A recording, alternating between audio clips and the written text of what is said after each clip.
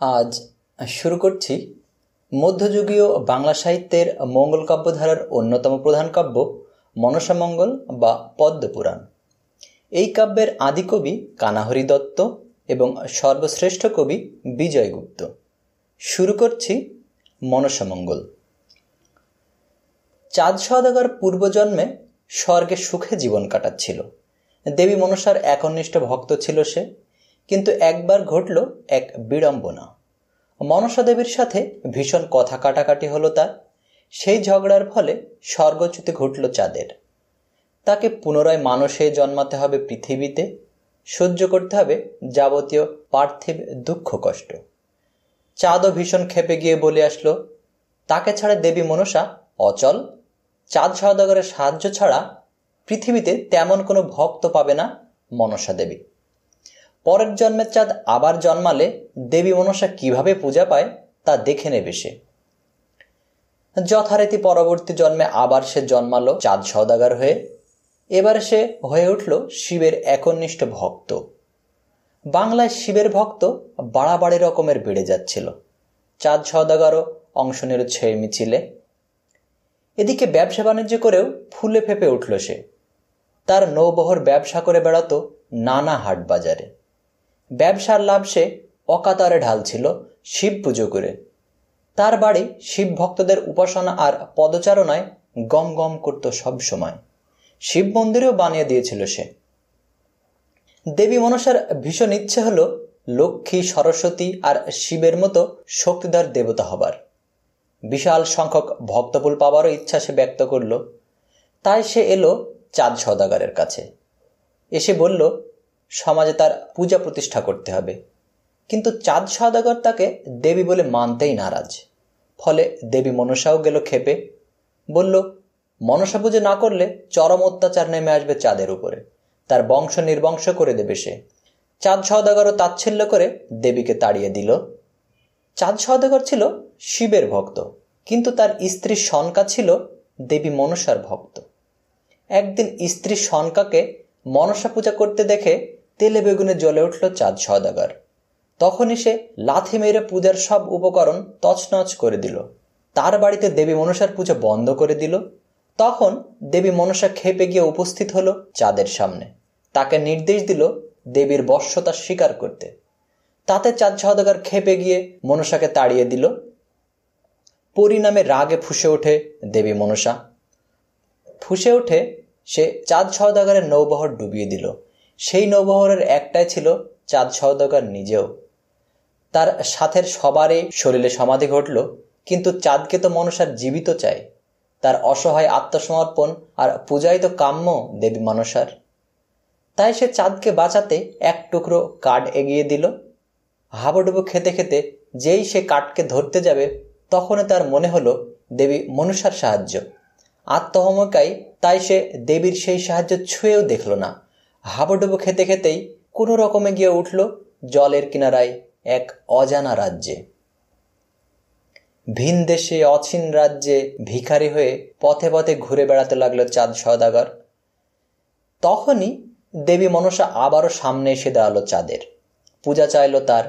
ঘৃণা ভরে মনসাকে আবারও প্রত্যাখ্যান করল চাঁদ সদাগর মনসা দেবী প্রস্তুতি নিল পরের পর্বে তার খেল দেখাবার জন্য।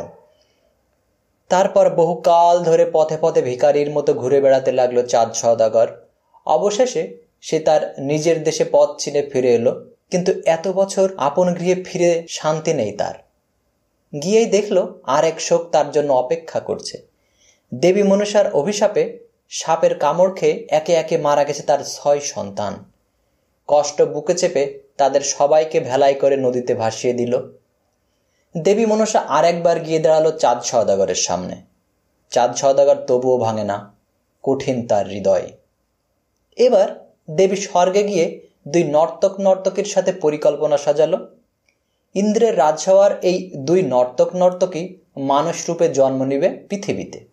নর্তক অনিরুদ্ধ, চাঁদ ও তার স্ত্রী শনকার ঘরে জন্ম নিল লক্ষিন্দর হয়ে, আর নর্তকে উষা জন্ম নিল আরেক পরিবারে বেহুলা হয়ে। পরিণত বয়সে এই লক্ষিন্দার পড়ল অনিন্দ সুন্দরী বেহুলার প্রেমে। দুই পরিবারের সম্মতিতে বিয়ে হলো তাদের। কিন্তু বিয়ের সানাইয়ের সাথে সাথে চাঁদ সওদাগরের কানে ভাসে আসছে দেবী মনসার হুমকি ধ্বনি। দেবী মনসা বলেছিল, বিয়ের রাতেই তার সন্তান মারা যাবে। চাঁদ সওদাগর তাই শ্রেষ্ঠ সব কারিগরদের ডেকে আনলো। তাদের আদেশ দিল, লোহার বাসর ঘর তৈরি করতে। পুরো নিশ্চিদ্ধ হবে সেই বাসর ঘর। এক ঢোকা এবং বের হবার দরজা ছাড়া আর কোনো কিছুরই প্রবেশ কিংবা বাহির হবার পথ থাকবে না। কাজ শুরু করে দিল রাজ কারিগরেরা। এদিকে দেবী মনসা স্বপ্নে দেখা দিল এক কারিগরের। তাকে হুমকি দিল বাসর ঘরে একটা ছিদ্র রাখবার জন্য। তা না হলে তার বংশ নির্বংশ করে দেবে সে। ভয় পেয়ে কারিগর ঘুম ভেঙে উঠে রাতের আধারে সেই কাজ সেরে রাখল। যথারীতি বাসর ঘরে সেই ছিদ্র দিয়ে সাপ ঢুকে পড়ল। তার বিষাক্ত ছবলে মারা গেল লক্ষিন্দর। চাঁদ সদেকার শোকে পাথর হয়ে গেল। অক্ষম আক্রোশে ফুসতে থাকল সে। নদীতে ভেলায় চড়িয়ে ভাসিয়ে দেওয়ার উদ্যোগ নেওয়া হলো লক্ষিন্দরকে। ঠিক এই সময়ে সবাইকে চমকে দিয়ে ভেলায় চড়ে বসল বেহুলাও। সবার সব বাধা উপেক্ষা করে নির্বিকার বসে রইল সে ভেলায়। লক্ষিন্দরের সাথে সেও যাবে অজানার দিকে। অগত্যা তাকে সহই ভাসিয়ে দেওয়া হলো ভেলা। তারা প্রায় ছয় মাস ভেলায় করে যাত্রা করে নদীপথে। মৃত স্বামীর পাশে বসে নির্বিকার বেহুলা দেখে দূর পাড়ের সব গ্রাম, সেখানকার জীবনচিত্র। পার হয় অচেনা সব হাট বাজার আর একান্ত মনে জপ করে চলে দেবী মনসার নাম। দেবী মনসা যদি দয়া পরবাস হয়ে দেখা দেয় একটু বেহুলাকেও বিস্ময় নিয়ে দেখে দূর পাড়ের মানুষেরা।